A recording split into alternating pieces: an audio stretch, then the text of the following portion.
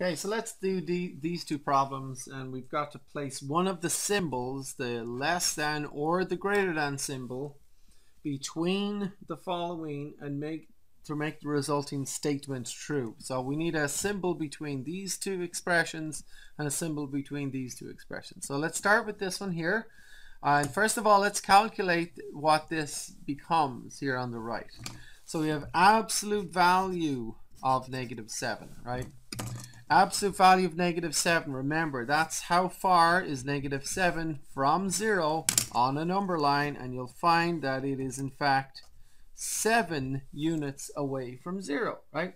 So the absolute value of negative 7 is just 7. Okay, so that's just dealing with this part and, and ignoring this negative sign here. I'm going to make that green because just by doing that but that green negative sign still occurs. We haven't dealt with that yet, okay? So that makes the resulting expression negative 7, right? So applying the absolute value gives us positive 7, right? But then this green negative outside makes it a negative 7. So we have 7 on the left, negative 7 on the right. Which is more? Well, if again, think about a number line. Here's negative 7, here's 0, here's 7.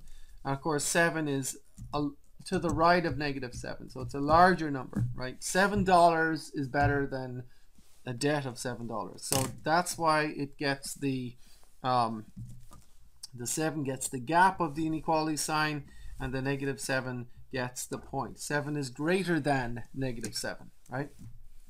Okay, try this one and uh, press, so press pause on the video, try this one and then I'll, I'll do it with you.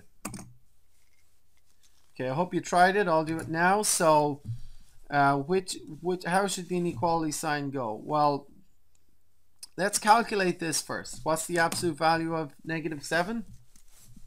Absolute value of negative 7 is just 7.